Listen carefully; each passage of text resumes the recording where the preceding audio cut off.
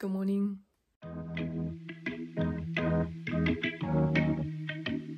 So I decided to change clothes because let me let me explain, okay? Let me explain myself. So normally when I'm home alone, I'm most likely in my PJs, which I do think is quite normal. But um, for the sake of this video and because I am kind of putting myself out there for millions of people to see if any, I thought it might be more appropriate if I wear proper clothes rather than my fluffy and comfortable PJs. Hello friends and welcome back to my channel. For those of you who don't know, my name is Juhi. I'm currently a second year dental student studying at the University of Heidelberg in Germany. So how do I manage to study dentistry in a completely different language? That is a very good question. The reason why I'm actually making this video is because a few days ago, some of my friends and I were talking about studying and uni and all of that shabam and I was saying how, you know, there's so many times where I don't quite understand exactly what the professor is trying to say. And I think not only is it because I might like the technical jargon understanding, but also because of the language barrier. And if you're a person who is studying a subject in a different language or has had experience living in a foreign country where everybody speaks a different language from your mother tongue, then you will probably understand what I mean. It's just there are some times where it's just normal German words that I don't understand and it's those moments that kind of get to me. Start big and then go small. So what I mean with this is that when you're studying dentistry or any subject that's very, very content heavy, I like to kind of start very general. So let's say the auditory system, because that was my last, uh, most recent lecture. Instead of kind of diving straight into the deep end and going into the details, which oftentimes the professors kind of do at our uni, which is mentally overwhelming at times. What I like to do is I like to start very, very general. So rather than going straight to our lectures and going straight to lecture Folien. Sorry, my English is failing me right now. The lecture slides, yeah. I go to slides that the students above us have made for us as kind of like a general overview of the subject, or also websites. And I kind of look at the subject from a bigger scope. I start with the very basics and then after I take the time to understand the general idea of the concept, so the general idea of the auditory system, for example, you know, starting with the anatomy and the physiology, then I dive deeper into the details. So it's kind of like you're putting layers into your studying. And then once you have the basic understanding of whatever it is that you're studying, what I would then go into is to test my knowledge. And this can come in all sorts of forms. And this is where I kind of emphasize the importance of being flexible with your learning in terms of your resources as well as how you learn. So for example, how I like to test my knowledge is to draw. And I don't mean being all like artsy fancy, but I have like this digital whiteboard on my laptop and I would kind of bring that up and just write down words, brainstorm them, and start with like a keyword and then kind of branch out or draw diagrams, draw processes, stuff like that because I think by writing stuff down, by drawing it, I can physically see which kind of information I'm lacking, what I'm kind of struggling to explain or where I can't find the links between different areas. And so that's one way. Another kind of way I like to test myself is to answer questions, whether that be from books or questions that our professors have given us, or perhaps questions from Amboss. Amboss is basically like a medical website platform that's so, so helpful. I use it quite often because it has lots of uh, past paper questions and sometimes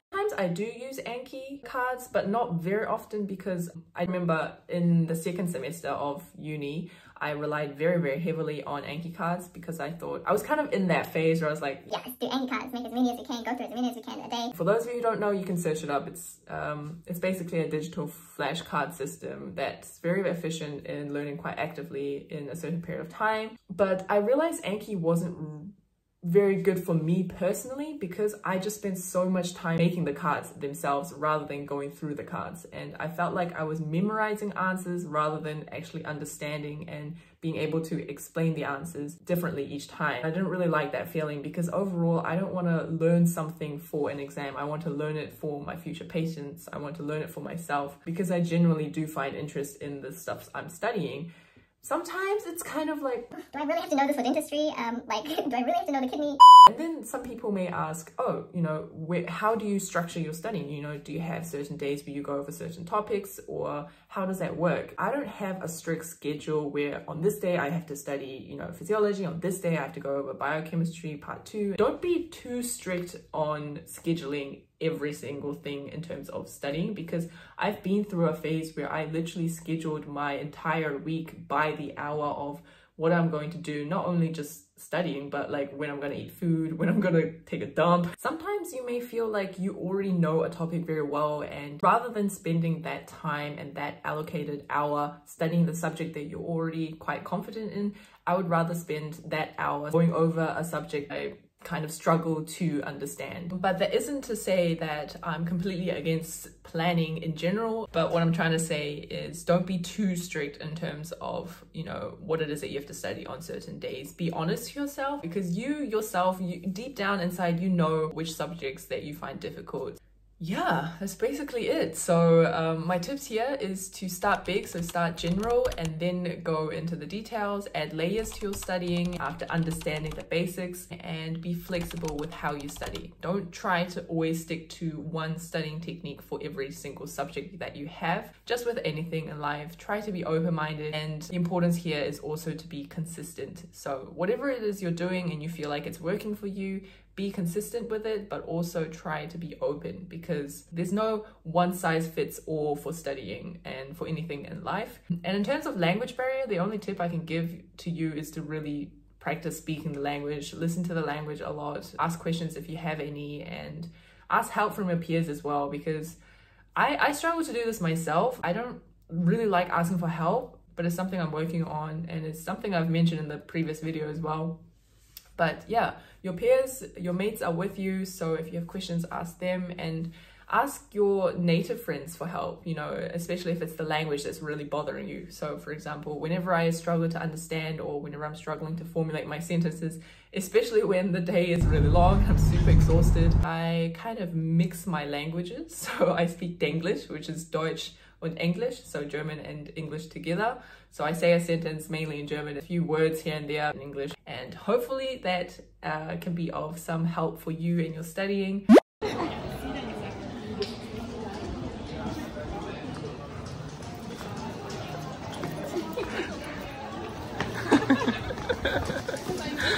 okay, Kezia.